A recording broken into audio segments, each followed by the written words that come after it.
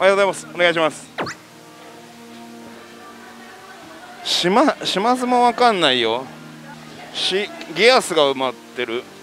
花々花々かまあ普通に。アクロスを打つのがいいんじゃないかなと。思っておりますが。まあまあそれなかったな。1打だけ。1打だけなんとか空いてましたって感じか。とりあえず取らないと取られちゃうんででまあ一応確保しました。うん。ちょっと考えます。はい。はい。遊びスタイルえー、おはようございます。遊びでございます。第3回目ですね。1回目東京。2回目東京と来ましてなんと3回目にはですねドーンということで新潟県まで来ました。なんだこの飛び終わっていう感じなんですけれども、えー、新潟市内にありますザップ竹雄店さんというですねソロ線の方に今回お邪魔して、えー、収録となりました。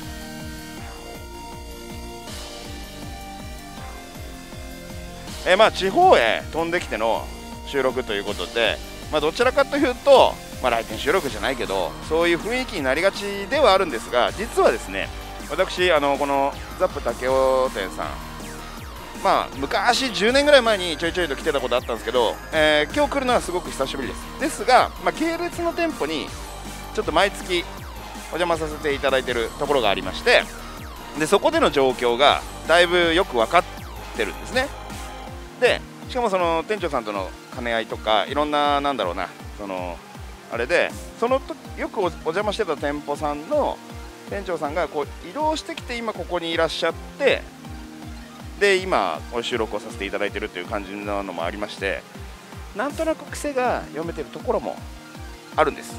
なのでそれをうまく使いながらちょっと立ち回れればなと思っております。でいつもあの私ねあの毎月ねそちらの方でお邪魔させていただいた時はだいぶアクロスコーナーが盛り上がってましてなんなら朝ねアクロスコーナー一応パッて行ったんですよ。そしたらもうほとんど埋まっててバーサーズが1台ポコッと空いてたんでもうとりあえずそれを取るしかなかったっていう感じでもう一応台は確保してきたんです。してきたんですけどふっと見渡すとあれ？と思って周りのお客さん向こうの店舗にいらっしゃっていつもいらっしゃってる方が何人もいらっしゃいます。すでに。ででお客さんですらそういう感覚であるならば私もそれに乗っからなければならない。で、まあ、今日ね本当に何も知らないホールだったらその6号機 AT 機打つとかなんかいろんな方法あったと思うんですけど今日はもうそれに準じてアクロススタートするしかないなという作戦にまあ半ば強制的になりましたので、えー、バーサスからスタートしようかなと思っております、まあ、感覚的には2分1から3分の1ぐらいは上が絶対入ってるなっていう感覚ではあるので、まあ、そういう目線で、うん、うまく積もれればなと思ってますんで、えー、ご覧ください。それでは早速実践いってみます。はいじゃあ早速打っていきたいと思います。まあとりあえずのバーサスなんですけど本当あんまやりたくなかったですねまず設定が分かりにくいっていうのが第一の理由で、まあ、他にねあのアレックスが寝台で入ったばかりなのでそちらやりたかったんですけど、まあ、増大なのかもしれないですけど入ったばっかりなのでそっちはやりたかったんですけど間一髪取れずということで、まあ仕方なしの昨日負けている台は確保できたので仕方なしの、えー、バーサスというスタートでございます。まあ、一応その手通して立ち回る的なね裏テーマ的なのもあったりするけれどもあそこに同じく信頼で入っている6号機のスペリオレっていうのがあるんですね。あの台を本当はやりたいんですね。で昨日のデータ見ていてもあと今ちょうど他の6号機見てきたんですけどあの基本前立性ちゃんとしてるんででスペリオレは有力間ランプが分かんないタイプなんですよ変更しても。なので確実に変更されてるとは限らないんですけどただ昨日のデータ見る限り、えー、3台中3台とも朝一1本で引っ掛けて伸びてるデータだったんで多分前立性かけてるんですよ信頼ってもであいつは朝100ゲーム以内に6割ぐらい当たる。で連チャンタイプのボーナス連チャンタイプの台なんでゲジボ連チャンタイプの台なんであれを打ってからのこっち来たいんだけどそれをやった島多分もう後でこっちすぐ埋まっちゃって座れなくなっちゃうと思うんですよね。だからすげえ今実はまだ今でも悩んでるから回してないで今でも悩んでるから回してないんだけどまあなあなんとも言えないな一応設定。狙いでしょうがないから打った方がいいのかなっていうような気もしてます。はい。でまあ誰も打ってないんでさすがに気づいてないっぽいんでそこまであのしっかり狙ってくる人はいなかったっぽいんでもしワンチャンこっちダメだったら向こうでちょっと引っ掛けに行くのありかなと。いうような気はしております。じゃあスタートしましょう。はい。でまあアレックスも花火もバーサスも全埋まりなんでもしこのダイス勝った時の逃げ場はおそらく、えー、反対側にある、まあ、ちょっとバラエティチックな島になるのかなという気はしてますが一応バンバンクロスがあるんで、ね、ちょっと今空いてるかなって思って見てきたんですけどあのいつもそっちのねあの別の店ですけどお邪魔させていただいてる方ではバンバンクロスはもうずっと C なので、まあ、多分今日も C なんじゃないかなと思ってます。でも万が一 C じゃなかった場合あっちの方が早くダメになっちゃうからな。であとは4台中仮に2台入ってる推測でも55なのか56なのか66なのかまあこのパターンどれになるのかも意外と大事なんですけど。55か56だと思います。おそらく。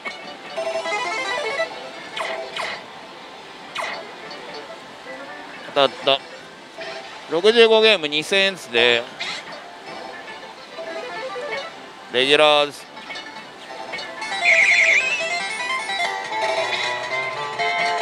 まあまあ周りも当たってますね。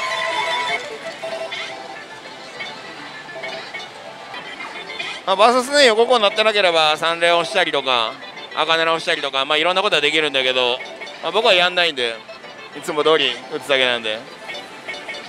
だってこぼすもんスイカ。あって。で挟んでテンパるたびに狙うのも面倒くさいし。結局一番効率がいいこの打ち方しかほぼしないんですけど。最初ね出会った頃は面白かったんですけどすぐ飽きたねこの台アレックスは飽きないんだけどな。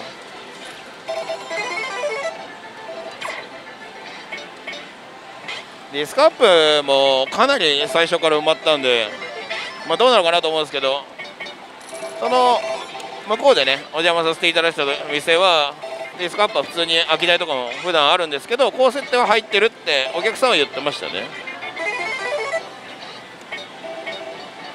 なので、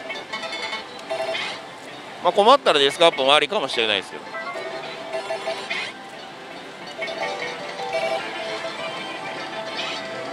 あースペリオーレ当たってるよ。やっぱ当たってるね。いやそういう方が手っ取り早いんだよな。こんなんでだらだらやってるよりも。だから結局ね。普段だったら絶対力いきますね。でこっち何も巻いてなくて座れだったらもう別に帰ればいいんで。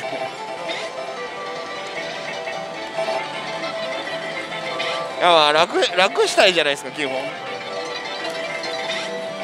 もったいない。しかも VS アレックスならともかく。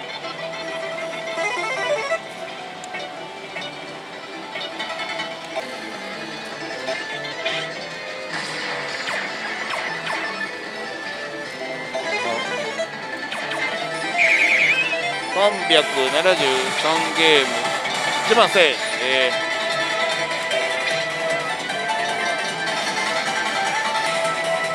ー、まあビッグ1回じゃ何とも言えないですがとりあえず0回ということになりました。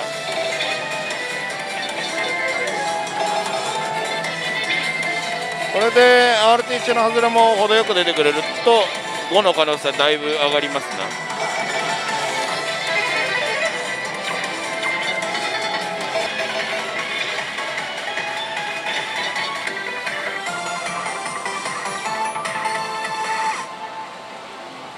12対3ですね。まあまあいいんじゃないですか。さあ、まあ、今んとこ悪くないですね。子役も悪くない。ボーナスだけ悪い感じですね。でまあビッグ1回なんでね何度も言いましたけども、まあ、一応 V 点もゼロ。まあ一応悪くないかなというところでしょうか。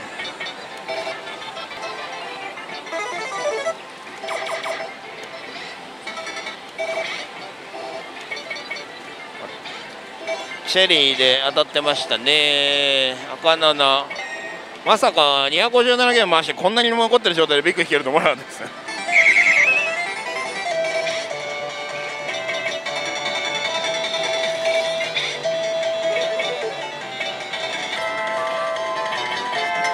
ゼロ。音すらならなかったね。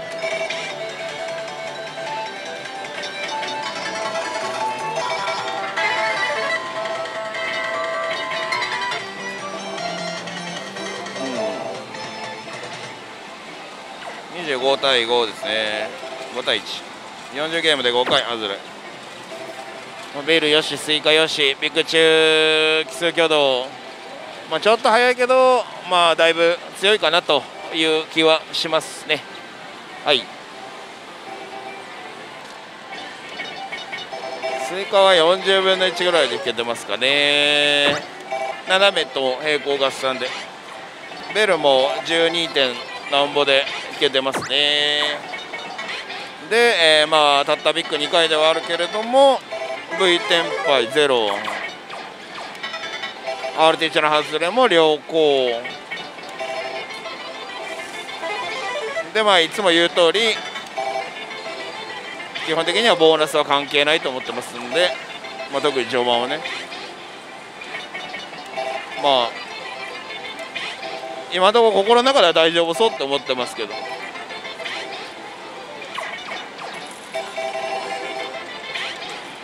どうなんでしょうかね。バーサスとディスカップってそういえば似てるんだよね。最初最初の頃めちゃめちゃおもろいなこれだいって思ったやつって。大抵打ち飽きて一番打ちたくない台になるんだよな。アレックスとかは初めて打った日の印象とか悪かったもんな。あんま面白くねえなって。なのに気づけば一番面白いんじゃないの。やっぱだから噛めば噛むほどみたいな台はやっぱ大事なんでしょうね。そういう方が面白いってなりやすいのかな。だってもう毎日ね僕じゃないんだけど毎日のにバーサスのを打ってた人ももうノイローゼ気味になってたもんね。当たんねしてねえから。だからもう本当そういう感じこういう感じ。今日はまだ全然決まってないけどもしそうだとしてこんな日がよしょっちゅう来るなっていうイメージ。毎日じゃないけど。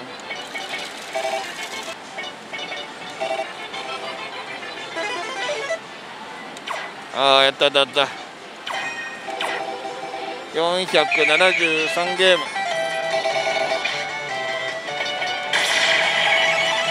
16本っすよも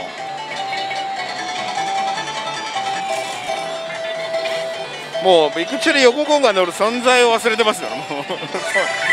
そのぐらい出ないですね。やっと1回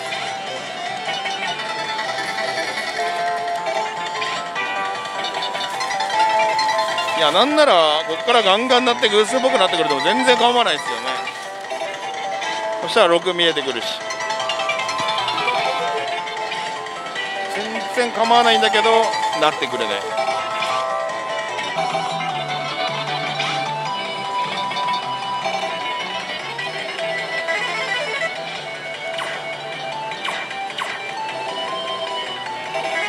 バカ野郎。4回。11ゲーム。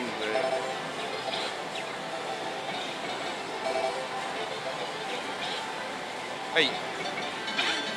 レギュラーかな？あレギュラーでした12ゲーム。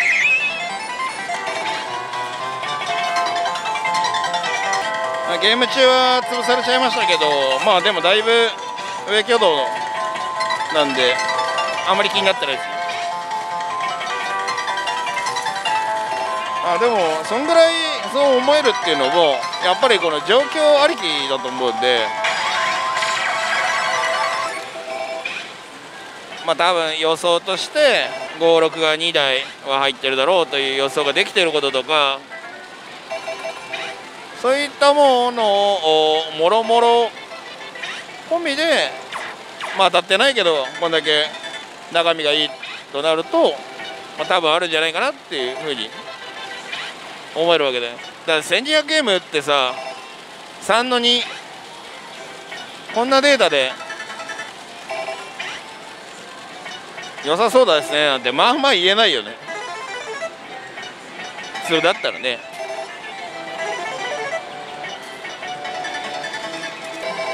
だ僕スマホ持ってないですけどスマホが欲しい理由があるとすればここに置いて動画見ながらみんなみたいに打ちたいです。それはしたい。だからノーマルタイプの通常時はいいけどあの AT 機とかの通常時を過ごすのがすごく嫌なんですよね。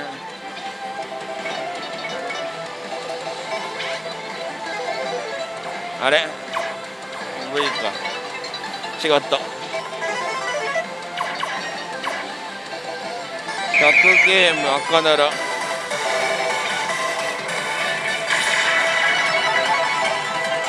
あようやくプラス1か。ほら、うん、まあ、そうだよね。分かって。お。本急に。こうやってね急に来ることがあるから奇遇すらよく分かんないって言われるんですけど。今日はさすがに朝一からちょっとあまりにもならなすぎてたんで。外れ出ねえな。1回しか出てない。2回。60分の7ちょっと弱くなったね。はい。問題ない。まあもうあとは本当自分の台の判別もね判断というか、まあ、推測もそうなんですけどあとはその周りで打ってるお客さんの判断精度が大事ですよね。特にアクロスの場合は、まあ、朝からね今日の僕の台みたいに全然当たらなくてはまったからっつってやめちゃう人はもう論外。まあ、基本的に粘り腰で打ってくれることが前提ででしかもその中の判断基準、あ、どんな感じなのかっていうのもね。気になるところですけどすごく当たってるけどあじゃあすごく当たってないのに結構粘ってる人は基本的に信用できるパターンが多いと思います。お役さえ良ければ心折らずにやれるっていう人なんでねおそらくそういう方は。もうアクロスで心が折れてやめたことは多分一度もないですね。いやなんかもう1年打ったけど全然ダメで心が折れましたなら分かるけど1日単位で心が折れんの折れんの早すぎじゃないのかと思うけど。それはさもうどうせ出ない5か今日はって思って午前中を過ごしているのに。それでも打ってるってことはまあ心は折れないってことですよね。あ前回のねあのマイジャグラ打ったお店もそうだったんですけど基本ちょっと状況が今回もそうですけど状況がいいのでこう移動してあっちもやってみたいとかそういうふうにならない感じのねこの2回連続になっているのが、まあ、ちょっと残念ですよねいろいろとね打ついろいろと大移動するっていうのも、まあ、その立ち回りの見せ場の一つだったりもするんで。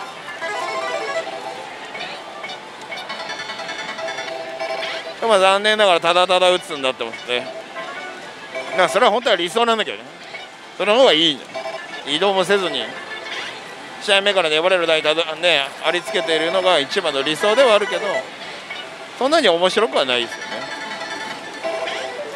1個当たってくんないとね判断しきれないんでねそういう意味でも当たってほしいですけど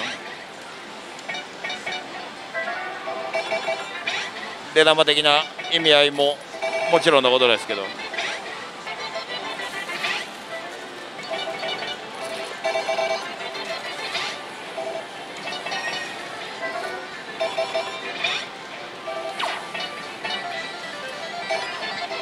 496ゲーム。頼む。よし。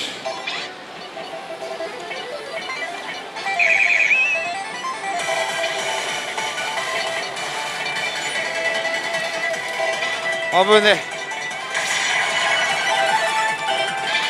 1回で800ぐらいいきましたね。800以上かな。あら。2回来た。分かんなくなってきた？おいおい。急に3回だよ。これね微妙になってくるから500関連は相変わらずいいですけど。まあとはいえもう挙動的に子役の挙動的にもう絶対やった方がいいレベルになってるからだったらもう偶数になってくれた方がいいんだよ。本当は。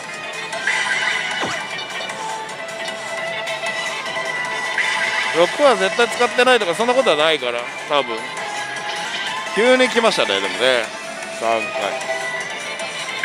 夕方から奇数偶数がひっくり返るなんてこともまあまああるからねほん。と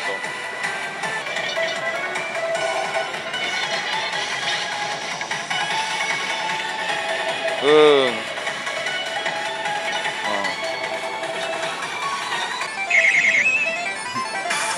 ロングウェイトです。うんって。フラッシュしなかったから自信がなかった。23だから、えー、158ゲーム。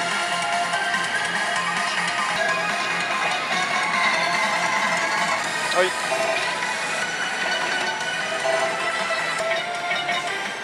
めちゃくちゃ外れたな。88分の13ですね。55対13比率さすがに大丈夫じゃないですかね。うん。スっぽいしてたのに急にグースっぽくなったな。結論というか、まあ、納得。